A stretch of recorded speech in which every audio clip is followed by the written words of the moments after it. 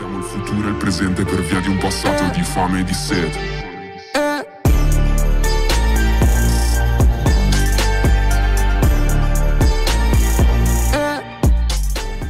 Минуточку внимания, хочу посоветовать вам очень классный канал, называется он Энил Шоу, это новый канал Тимохи Домино. Поэтому ссылочка на его канал будет в описании, просто переходите, подписывайтесь, очень классный канал, видосы по Амазингу на первом сервере, где играю как раз я. Также скоро он пройдет конкурс на первом сервере на несколько миллионов, поэтому можете переходить на его канал и просто возьмите, подпишитесь. Давайте все его дружно поддержим.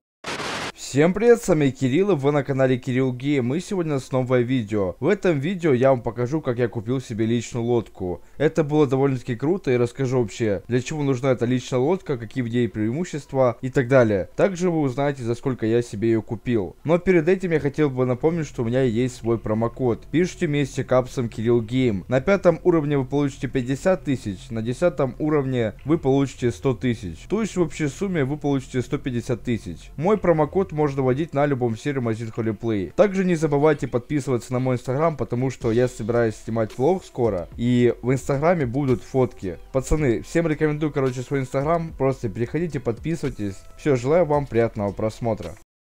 Ну что ж, пацаны, сейчас я буду покупать лодку, получается. Ну как покупать? Я обменяю две свои машины на лодку. Я обменяю BMW X5, получается, свой. Давайте я вам покажу какой. Вот пишем car. И вот здесь есть вот BMW X5. Вот его я буду обменивать на яхту, получается. Точнее, на катер. Я хотел, конечно пацаны, яхту, но яхта стоит 40 миллионов. У этого чувака есть и катер, и яхта. Но яхту он продает за 40 миллионов. А вот я с ним договорился обменяться машинами. То есть я ему даю две машины, он мне дает катер. Но сейчас я ему, получается, даю X5 5, он мне дает катер, и потом он покупает дом, я дам ему еще раптор свой. Вот мой раптор, получается, тоже есть. Форт Раптор, вот, ООН, три восьмерочки. Ну, в принципе, не знаю, мне кажется, выгодный обмен и ему, и мне. Просто я очень хочу катер. Изначально я хотел именно яхту, потому что, чтобы с подписчиками там тусить и так далее. Но я думаю, катер тоже будет довольно-таки неплохо. Сейчас я его жду, получается, возле нотариуса, и мы с ним будем делать обмен.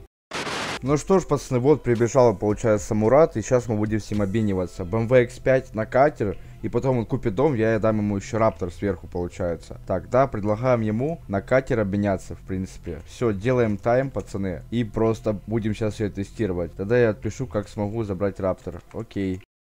Ну что ж, пацаны, я думаю, самое время посмотреть на эту лодку. Просто она реально очень прикольная такая, просто быстрая. Она едет почти 140 км в час по воде, это довольно-таки круто. Давайте для начала я покажу вам, наверное, Карпас. Так, ID мой Карпас 491.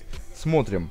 Получается, это катер называется Крузер, ID 493, номеров нет, из тюнинга ничего нет, но скорее всего, наверное, нельзя будет этот тюнинг ставить, но если на лодку можно будет поставить чип каким-то образом, это будет прикольно, чтобы она еще быстрее ехала. Целостность у нее 100%, гос цена 499 рублей, пацаны. И получается, пробег на ней сейчас 20 километров. Вообще, в чем смысл этой лодки? На ней можно просто кататься, там, катать своих друзей, там, подписчиков, как я, например, буду катать на стримах на этой лодке. Вот что с ней можно делать. Но еще на ней можно, как бы, ловить рыбу. Надо сесть в лодку, открыть багажник и сейчас посмотрим, сколько туда влазит рыба. Пишем Т-меню и сюда можно положить 3000 рыбы. В чем вообще прикол, пацаны? Если вы просто арендуете лодку и поедете ловить рыбу, потом вас крашнет, то вам эту рыбу никто не вернет. А так вы рыбачите на своей лодке и складываете рыбу багажник лодки. И потом можете просто ее продавать, получается. Можете просто вытягивать ее и продавать. Я думаю, это довольно-таки круто. Ну, реально плюс в том, что если вас крашнет, то рыба останется. Если вы будете на арендованной лодке, то ничего не останется. Но в арендованную лодку влазит, по-моему, даже меньше рыбы, чем в эту лодку. В эту лодку влазит 3000, а там, по-моему, максимально можно типа 1000.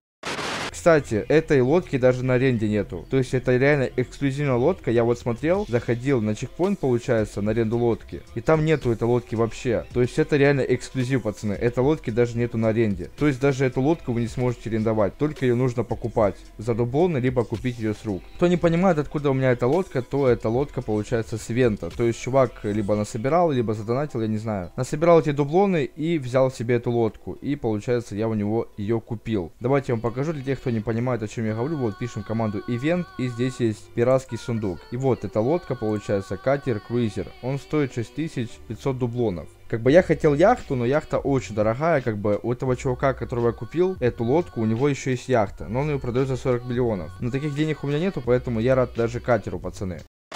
Но знаете, в чем минус? Вот минус в том, что это пока что недоработано. Пока что это все сырое. Почему?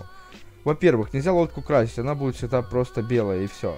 Вот это для меня большой минус, потому что я хотел бы ее, например, там перекрасить. Возможно, винил какой-то на нее поставить. Было бы круто тоже, если бы сделали какую-то возможность тюнинговать лодки. Допустим, сделали бы специально для этой лодки там прицеп, который можно будет там купить за миллион, например. Ты покупаешь этот прицеп, везешь свою машину получается, берешь там джип какой-то, например, гелик, подцепляешь этот прицеп к гелику, берешь эту лодку, везешь ее в тюнинг, например. Вот так было бы круто. Понятное дело, что яхту никто не будет э, для нее добавлять, получается, прицеп, потому что яхта очень большая и типа ее перевозить по дорогам общего пользования, это будет очень глупо. Просто будем мешать другим игрокам, если вот эту огромную яхту перевозить. Не эту, пацаны, а другую, которая за 12 тысяч дублонов Эту как бы можно еще перевозить, она не уж такая уж большая. Поэтому было бы круто, если давали либо какую-то возможность тюнинговать, либо тюнинг какой-то добавили для лодок. Но, типа, его нельзя будет купить, потому что, типа, ну, это будет не бизнес. Ну а так, в принципе, я рад, пацаны. Я реально рад, потому что это что-то новое, это новый транспорт, понимаете? Потому что, ну, как бы машины надоели, а тут своя лодка, пацаны. Это реально круто. Ну что ж, на этом я буду заканчивать. Всем спасибо за просмотр, ставьте лайки, подписывайтесь на канал и всем пока-пока.